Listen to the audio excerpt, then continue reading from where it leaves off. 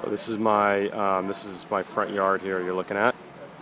They um, have obviously some dogs of some sort.